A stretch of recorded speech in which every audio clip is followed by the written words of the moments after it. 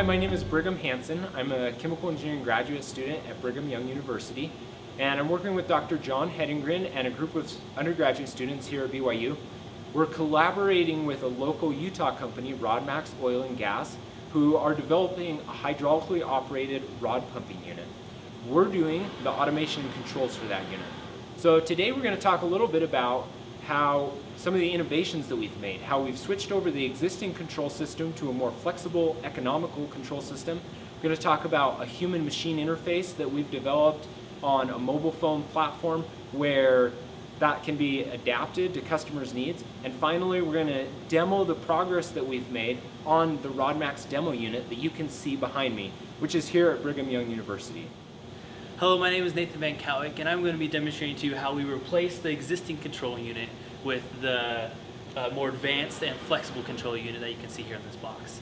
Uh, it all starts with the Opto22 programmable automatic control unit uh, and its uh, corresponding I.O. units. Each of these I.O. units are hooked up to this demo unit behind me so we can read in information and send in information as we need to. Uh, this red box is called the Groov, and this is kind of our processing unit where we can do advanced control uh, calculations and diagnostics here locally on the machine, and it can regulate itself pretty much. And then we have the wireless control, where we can send and receive information uh, through a desktop or mobile application. I'm Craig Schoenberger, here to explain the human-machine interface we've developed. Um, we're using a Groov Wireless app, which is available on mobile devices.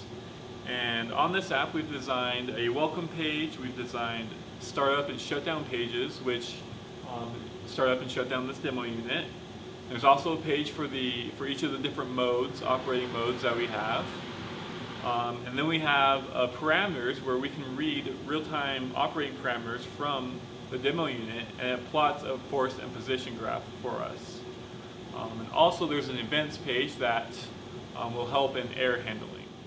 Okay, I'm going to explain how to use our human-machine interface to start the pump. So we're going to go to our startup page. Uh, we're going to enable our startup. And then to make sure our gravity pressure has enough, our gravity motor has enough pressure, we're going to jog it. And then I'm going to press the turn on button. So it turns on our gravity motor, and then the RodMax motor turns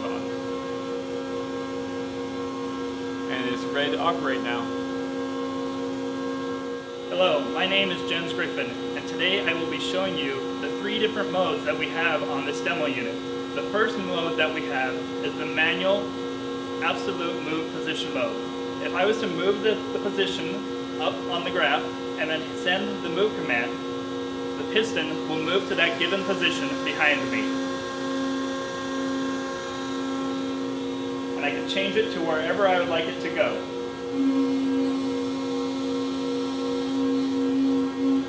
The second mode that we have as part of this development is the manual cycle mode. In this mode, we are able to control the stroke length, the up speed, the down speed, and the dwell time of the pumping unit.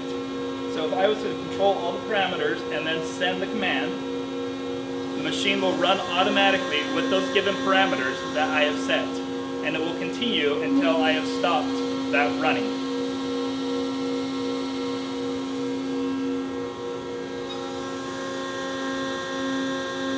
And last but not least, the last mode that we have is the automatic mode. This mode allows us to implement the advanced process control Python script that we are currently developing to optimize amount of oil production that this demo unit and others from RodMax will be able to be used in the field.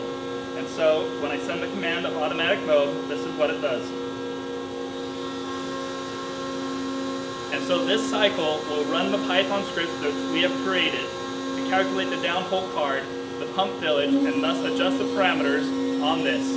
And that is a demonstration of the BYU Prism Group of RodMax Oil and Gases demo unit. Thank you and have a great day.